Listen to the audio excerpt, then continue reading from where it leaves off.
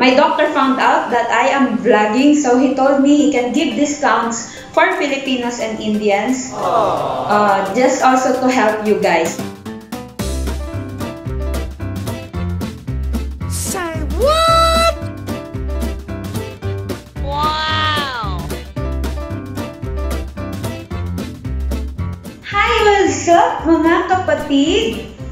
Yon! Andito na naman po tayo, your nurse Lanlan. And yes, for today's video, I will be talking to you about dental crowns. Wow. Here it is.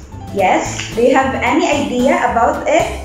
Okay, so as you have noticed, I am speaking in English because someone requested for it, but only until I tell you about the location of our clinic and the, the prices or the price of our treatment, like the crown, the dental crown.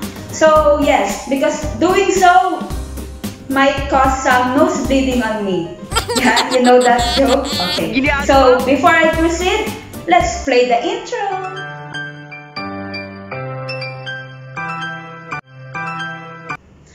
Yon, welcome back. So yes, for those of you who are asking about the location of our clinic, it is located in Maidan Hawali, near the old Shaab Park. You will see a, a big roundabout after the Shaab Park, and in front of the roundabout is our building. It's our clinic, Al Rodan Clinic, 8th floor dental. So for those of you who have questions or some inquiries, or you want to make an appointment, you can send message on my FB page or FB account. Or if you want to talk to our receptionist, you can call her with this number. Okay, so before I proceed to our topic, I will be first introducing my doctor or our doctor. Yes, this is our doctor, and this is his Instagram account. You can come and browse and check all our cases because he is posting it there. And uh, a quick background about him. He graduated in, I think in Newcastle, Lon- Newcastle School. Uh, it's in London. So yes, for you, for those of you who are asking and hesitant to come, he is good. He studied abroad, so he's good and he have uh, good cases. And I can attest to that. I'll be talking to you now about the price of our crown. This one. This is the crown, right? Uh, per crown, the price that the doctor, that our doctor is giving to the patient is 150 kd. And I'll be putting it, I'll be putting the converted uh, amount in peso here. Yes. That's how expensive it is. My doctor found out that I am vlogging, so he told me he can give discounts for Filipinos and Indians. Uh, just also to help you guys. So you can comment down below or you can send direct message on my FB page as I told a while ago or my FB account. So yes, uh, the, the price, the 150 KD price is for other patient, the, the one who can pay for it. But he can give discounts for you. So just uh, don't be hesitant to send message. Okay? So let's proceed to the video. Yon mga kapatid, back to normal. Yan, makakapagsalita na ako ng maayos. So, talakayin na po natin yung tungkol sa dental crowns. So, ito po yung example ng dental crowns na kanina ko pa pinapakita ng paulit-ulit sa inyo. Ayan. Ano nga ba ang dental crown? So, ang dental crown ay parang ganito. Ayan. Bakit ginagawa ang dental crown? So, yung mga nagpapagawa po ng dental crown, yun po yung may mga, kunare, may mga pasta po kayo na sobrang malalaki. Kasi po, prone na po kayo for fracture. Ang hirap naman banggatin yung F. Yan. Prone na po kayo for fracture. Ayan. Pwede pong mabali or maputol ang inyong mga ngipin. Kaya po ina-advise ng doctor or ng dentist na kayo po ay magpa-crown. And syempre, kung kayo rin po ay nag-undergo ng RCT or root canal treatment, yan, para, para po sa mga may alam kung ano po yun, sa susunod di-discuss ko po kung ano po ba yung RCT na yan. So, dahil po pag nagpa-RCT na kayo, uh, basically, patay na po yung ngipin nyo. So, weak na po yan, kaya kay, prone pa rin po kayo sa fracture. Kaya kailangan nyo pong i-crown. Paano pag ginagawa yung crown? Masakit ba ito? 'Diba? Una sa lahat, hindi po to masakit dahil bibigyan po kayo ng anesthesia ng inyong doctor or ng inyong dentist. And, ayan po, ito po yung ngipin, di ba? Pero ang ngipin na to ay hindi na po buo. Ayan, kung nakikita nyo ay parang natapyas-tapyasan na po to. Yes, mga kapatid, dahil ididrill po ito ng doktor. Paliliitin po ito ng paliliitin. Ayan, hanggang po uh, magkakaroon ng enough space para i-cover ng crown. So, syempre, dapat makita rin kung uh, makita rin yung pag-bite mo kung may enough space ba na mailagay itong crown na to. So, ayan. Ito pong maliit na ngipin na to ay dahil po tinanggalan na po yan ng mga surfaces ng inyong dentist para po ma-fit ang inyong crown.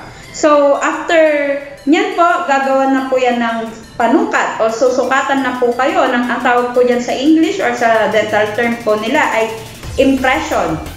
Pagkatapos po ng impression, Siyempre, maghihintay po kayo ng mga 1 week to 2 weeks para po ma-deliver na ang inyong crown. So, mga kapatid, kung kayo po ay magpapa-crown, dalawang visit po ang, ang procedure na ito. Kung una, yung preparation, yung pagtapyas po sa inyong mga ngipin. At ang pangalawa po ay ang pagsemento at pag-deliver ng inyong crown. Uh, sa mga nagtatanong, gano'n po ba katagal ang matagal? Or gano'n ba katagal pwedeng um, ano yun, mag-stay ang crown or hindi masira ang crown? So, sabi po sa research, it's uh, uh, around 5 years to 15 years. Ayan po. Pero depende pa rin po yun sa proper care nyo po at sa inyong oral hygiene. So, kailangan, di ba, uh, tulad po ng ngipin natin na natural, ay binabrush pa rin po natin yan. So, dapat 3 times a day nagbabrush po tayo.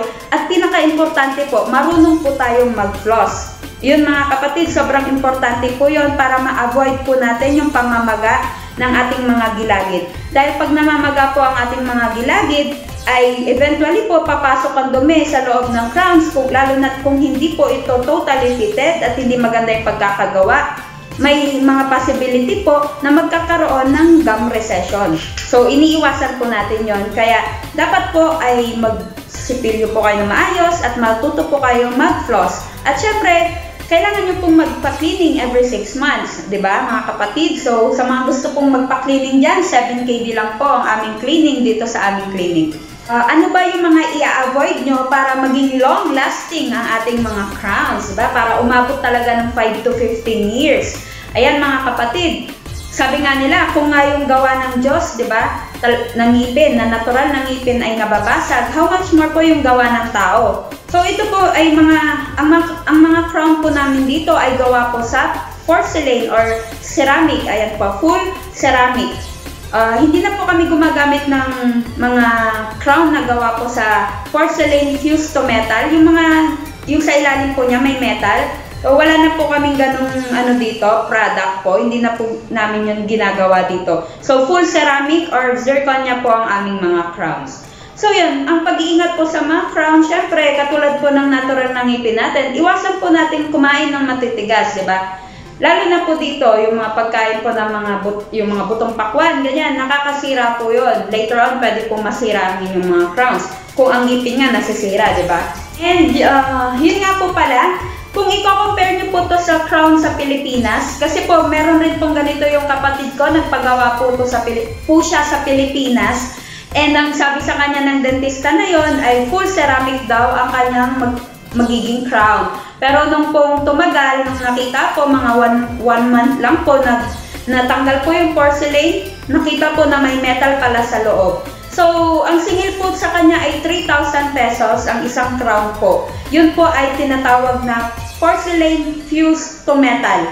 So, may metal po sa loob. Pero aesthetically speaking po, hindi po maganda yung ganun kasi yun nga, 'di ba? After ilang buwan lang nag natanggal yung porcelain sa taas niya or sa front niya at na, nakita po yung metal sa loob. So may reflection ng metal. Kaya mas maganda pa rin po yung full ceramic or zirconia mas matibay. Yung full ceramic mas maganda kaya, yun po. Yun lang po yung ma-explain ko. So, yun nga mga kapatid. Ano ba yung pros and cons ng magpagkakaroon ng isang crown? So, dun muna tayo sa pros, di ba? Uh, Siyempre, sabi ko nga kanina, ma-avoid po yung fracture. Yan, kung malalaki na po yung pasta nyo, uh, ma-avoid po na maputol ang inyong mga ngipin. And syempre, kung may mga discoloration na rin yung ngipin nyo, matatakpan rin po yon ng crown. And yung mga cons naman po niya, yun po yun kung hindi po ganun kagaling yung gumawa or nag-prepare ng inyong ngipin at hindi po nakitang mabuti na hindi po pala totally seated or hindi po pala totally fit ang crown. So, magkakaroon po ng parang leakage. Ayan, makakapasok po yung mga dumi at kung ano-ano dyan.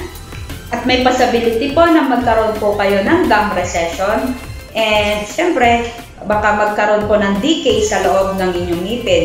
So, ayun, mas malaki pong problema yon. Pero, ayan, sinasabi ko naman po sa inyo na kung dito po kayo magpapagawa, magaling naman po yung doctor namin. And uh, i-make sure po namin na talagang fitted ang inyong crown. Yan. At mababait po ang mga nurses dito.